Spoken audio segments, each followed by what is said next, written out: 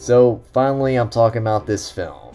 I'll say it's Akira Kurosawa's liked but still very underrated samurai epic, Kagemusha. Also, big shout out to Major Jackson from my Discord. He's been wanting me to do this one for a while, so it's finally here. So, I've almost reviewed all of Kurosawa's samurai films. I've kind of wanted to just get those over with first before I get to other ones that no one really knows about. And I'll say every one of his films is worth talking about just because he's the guy that is pretty much responsible for bringing this genre to the West. He might even be responsible for the genre itself. But I'll say every single one is just great. And just at the age of 70, he made an epic that just dared to question the meaning of the samurai code, or even just the human code. And it's all a story that's told through one individual. Kagemusha is the story of one such man. It's about a common thief who, because of just his crazy resemblance to the warlord Shingen, he is chosen as Lord Shingen's double.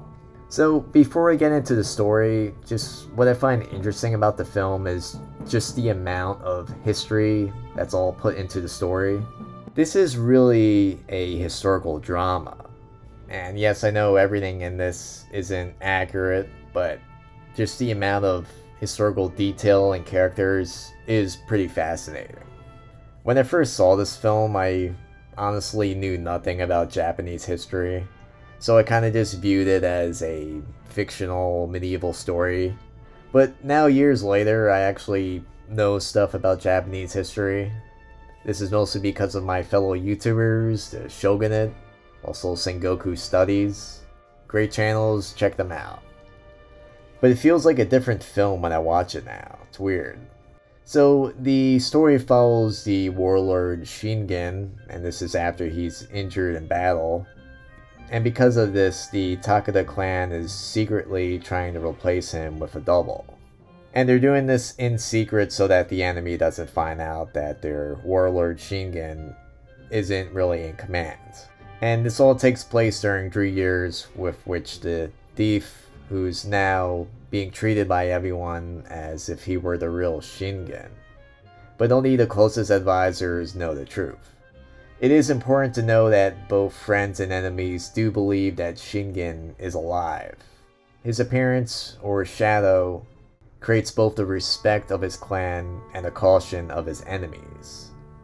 If he's found out, then he's useless as Shingen's double. And what's kind of crazy is he can send hundreds of men to be killed. Even his own guards are gonna willingly sacrifice their lives for him. But as himself, he's really pretty worthless.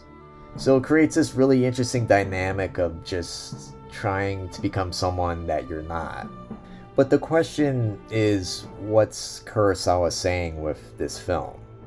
And I think that the answer can be found in just the difference between the two kind of scenes that you get. His film contains both epic battle scenes of just incredible beauty and scale.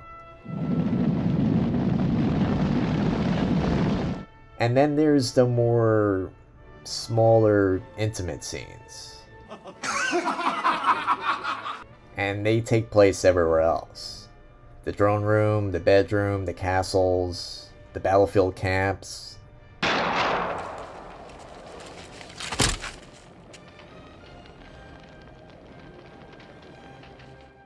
The great battle scenes pretty much glorify the samurai system. Armies of thousands of men just throw themselves at death, and it's mostly for the sake of pride. But the smaller, intimate scenes challenge that tradition. Everyone just nervously holds their breath when Shingen's double is tested. And this is with meetings, especially with his son, his mistresses, and even his horse. They're the hardest to trick because they know him more than anyone else. 違うこれはおじじではない if they aren't fooled, then all this was really for nothing. All the displays and battlefield courage is all meaningless. Because the Takeda clan has lost their leader, who is basically their figurehead. The illusion that he exists creates the clan's reality. And I like how there's a real significance to the role of the Shadow. At first, he doesn't really care, but then something in him changes. And I really like that about his character. There's a lot going on. And eventually, he takes this job really serious. Eventually, it becomes bigger than himself, and he sees that.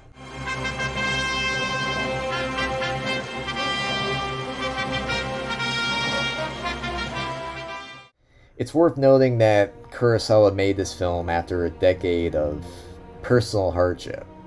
This film was very much the promised land that he was fighting to get to, and it wasn't easy. And even though he's often considered to be the greatest living Japanese director, for some reason he was still unable to find financial backing in Japan, especially when he first tried to do the film. So, first he tried to make a smaller film titled Dodes'ka-den. It was a massive flop. He then tried to commit suicide, but he failed.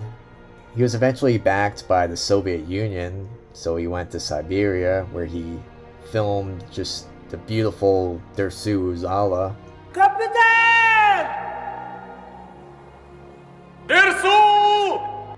But Kagemusha still remained his obsession. And he was finally able to make it and this was with Francis Ford Coppola and George Lucas. They helped him find US funding. The film he finally made, I'll say, is simple, it's bold, and it's colorful. But that's only on the surface. The film itself is actually quite deep. Kurosawa seems to be saying that with great human adventures, in this case samurai battles, they depend mostly on large numbers of men sharing the same fantasies or beliefs. He seems to be saying that it's unimportant whether or not the beliefs are based on reality. All that really matters is that men accept them. But when a belief is destroyed, the result is confusion, destruction, and death.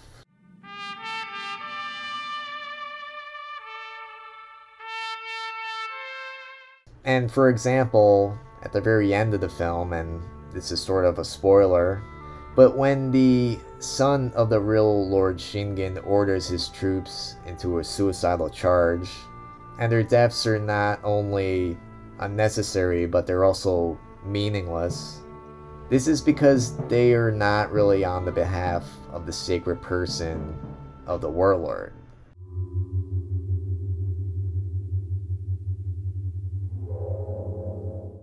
And no Kurosawa review would be complete without just gushing about the visuals.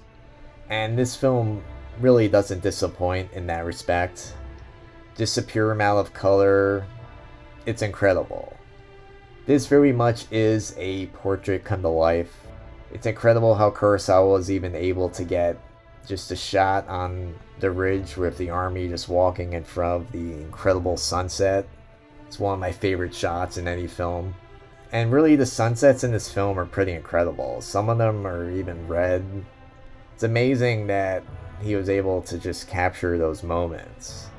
What's impressive too is this was before, you know, you could kind of artificially edit colors in films. So everything you see really is legit.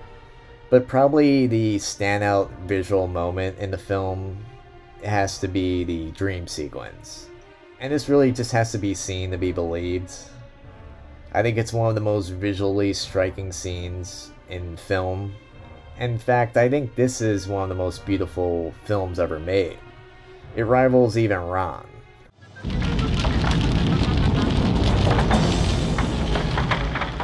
What's interesting too about this film is that originally it was supposed to be led by the Zatoichi star Shintaro Katsu.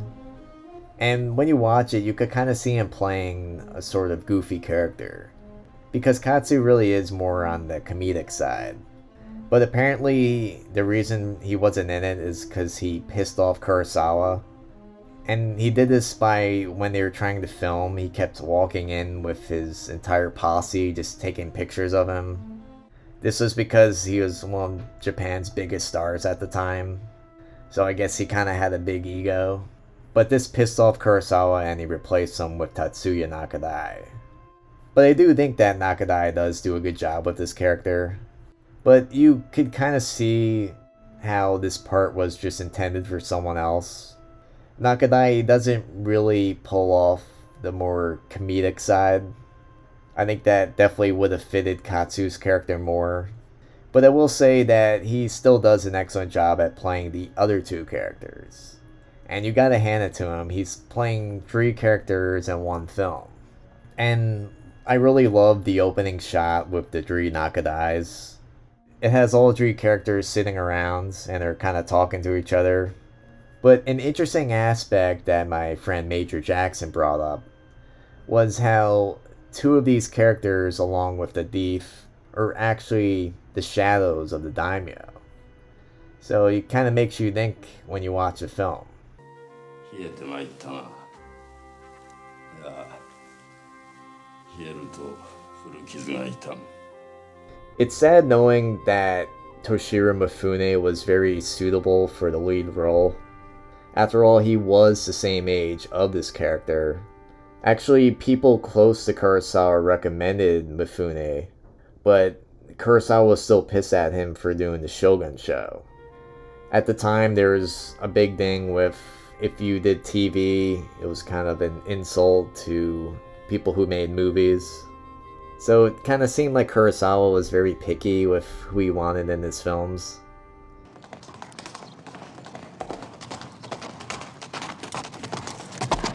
I also really like the depiction of Nobunaga in this. I think it's very realistic to how he behaved and his mannerism. It shows sort of his restless nature. He can't sit still, he needs to ride his horse around in circles. I also like how it shows how he was very open to the Christian Jesuits. In one scene, you could even see him accepting one of their blessings. Amen! Nobunaga was actually very open to the Western world, and he did like getting stuff from them. In fact, he kept many chests just filled with stuff that he collected. He seemed to admire the Jesuits for their tenacity and just traveling all the way to Japan just to spread their religion and just for living simple lives and this was different from some of the corrupted Buddhists of the time that sort of broke some of their religious teachings and interfered with politics. But one thing that's kind of funny and also kind of stupid, and it's something I think about every time I see the film, and it's the scene where Nobunaga requests his horse. And for some reason, you know, just me and my stupid humor, I always think that his horse is gonna be his page, and he's just gonna pretend to ride him like a horse.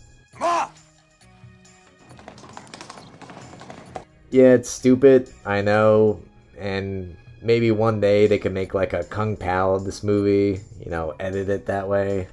But also just judging by his page's haircut, I think Kurosawa is implying that it was actually his wakashu, and, you know, you could look up what that is. I don't really want to go into detail with that. But maybe him riding him like a horse isn't really too far from the truth. Mm. Birdie. There's just a ton of great images in this film, but the final image of this film is something else. And again, this is a spoiler. I do warn you if you haven't seen it yet, and I'll try to be vague. It's of the dying man floating in the sea, and he's being swept by the currents past this fallen flag of the Takeda clan. And that shot alone just summarizes everything. Men and purpose are carried along heedlessly by the currents of time. And historical meaning seems to appear when both happen to be swept in the same way at the same time.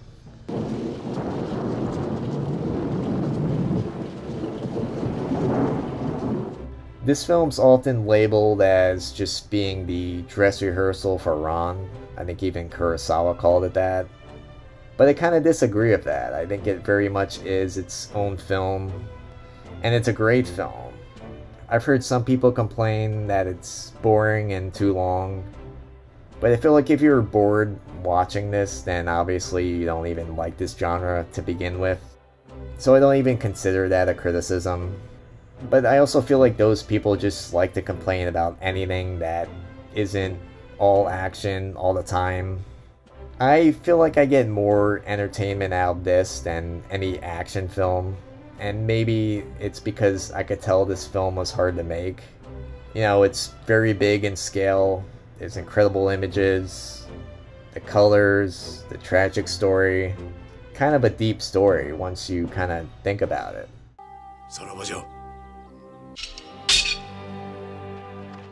There's honestly a lot I could talk about with this film. You know, maybe one day I'll do another video just revisiting it. I'm sure there's other topics. So anyway, if you want to watch the film or own it, it's widely available. I own the Criterion Blu-ray, still waiting on that 4K. You could also stream it on Amazon or YouTube, but I recommend just getting the best quality possible. Hopefully one day they could bring this back to the movies. I'd love to see it on the big screen. Anyway, thanks for watching. Please subscribe. Support me on Patreon. And like always, thanks for watching.